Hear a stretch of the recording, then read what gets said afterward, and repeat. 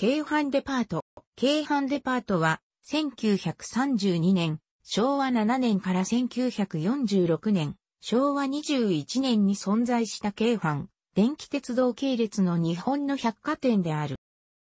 1932年、昭和7年に、京阪電気鉄道は、大阪方のターミナル駅である天満橋駅の拡張工事を機会に、同駅で百貨店経営を行うことを構想した。同年初頭に、当時の同社社長だった大田光広支店を訪問した当時の白木屋大阪支店長、藤崎翔太郎に、大田が共同出資で新会社を設立して、その経営を一任したいと持ちかけたのがその始まりある。藤崎は上司である白木屋専務取締役だった山田人蔵と相談してこの話を受けることとし、同年4月に白木屋を退職して、京阪電気鉄道と交渉を重ね、藤崎川と京阪電気鉄道側が折半して、各々の関係者が出資した上で、資本金100万円で設立を目指すことになった。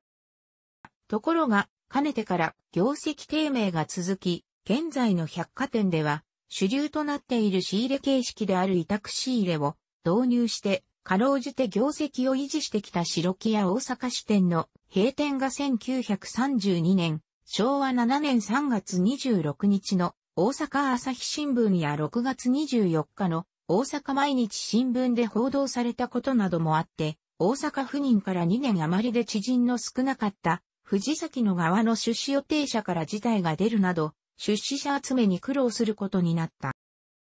最終的に115名の出資者を集め、1932年、昭和7年11月15日に、資本金100万円で株式会社京阪デパートが設立され、同年12月1日に天神橋駅に京阪電気鉄道の直営で営業していた天六系マーケットとそれに付随する天六の京阪食堂や千里山や平方、天満などに展開していたデポーと呼ばれる出先の店舗の資産と営業のすべての譲渡を受けて、京阪デパート店6支店としての営などを開始し、同年12月5日には、天満橋駅の店舗予定地の一角で仮店舗の営業も開始した。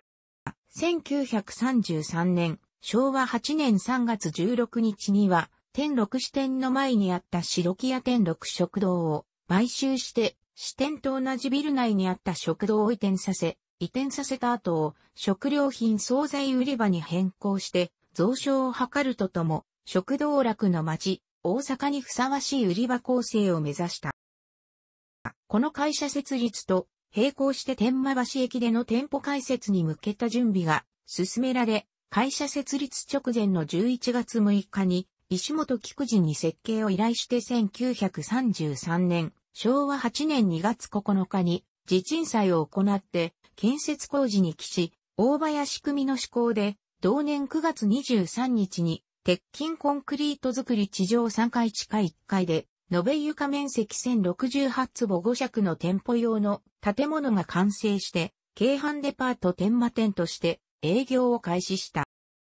この株式会社京阪デパートとして新たに建設して開業した天満店が当時すでに大阪市内では百貨店の標準的な売り場面積が約1万坪と考えられていた状況下で約1000坪と規模が小さかったため、経営の実務を担う藤崎も、その運営方法に苦心を重ねただけでなく、取引先からも不安視されながらの開業となった。また、広告宣伝費が競合他店に比べて少ない点や、立地の悪さを不安視する見方もされていた。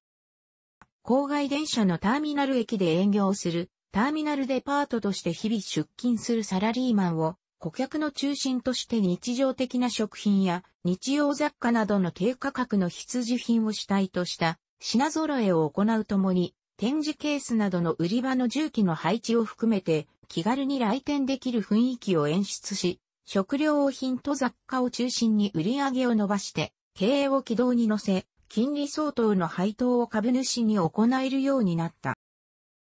また、当社の創業と前後して藤崎が直前まで支店長を務めていた白木屋大阪支店が、当時従業員約650名を抱えて閉店しており、当社が天満店の開業などのために、京阪電気鉄道から引き継い従業員300数十名をほぼ倍増させたため、白木や大阪支店の従業員を失業から救ったとの評価もされていた。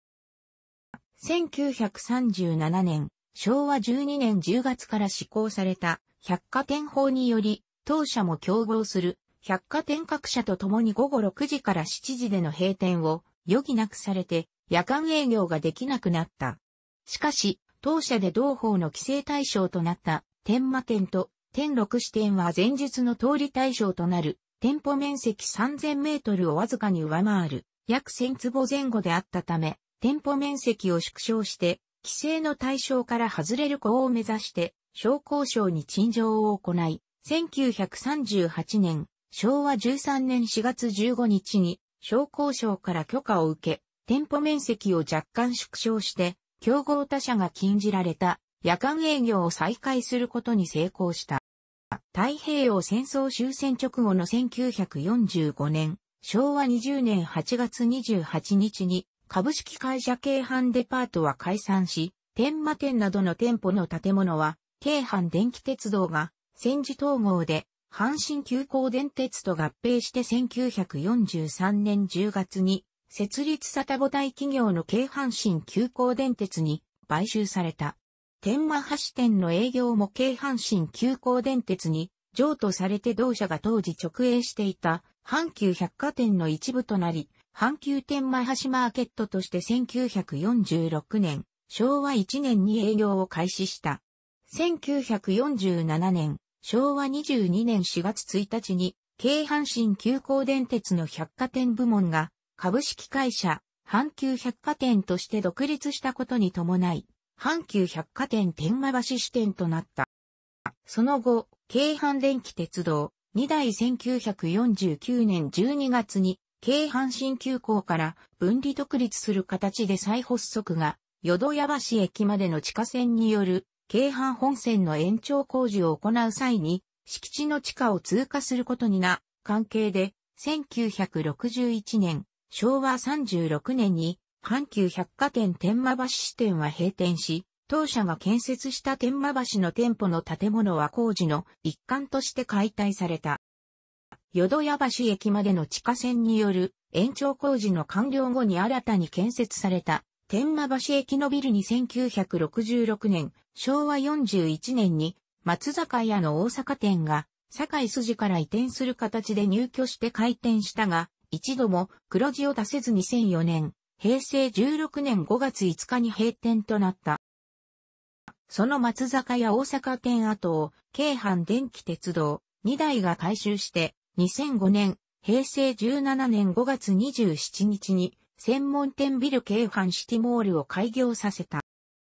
また、天六支店跡は、ビル内にターミナル駅を持っていた、旧新京阪鉄道の新京阪線が、そのまま京阪神急行電鉄に残ることになったため、その後も阪急電鉄、1973年に京阪神急行電鉄より改めの所有する建物として存続し、阪急百貨店の子会社だった阪急共栄物産が運営するスーパーマーケットの阪急共栄ストアなどが入居するビルとなり、同社が再編されたことに伴い阪急ファミリーストアとして営業を続けていたが、閉店して2010年にビルは解体された。跡地には2013年に超高層マンション、ジオタワー店6が竣工してり、1階部分に阪急、ファミリーストアの後継店舗として、阪急オアシス店6店が入居した。楽しくご覧になりましたら、購読と良いです。クリックしてください。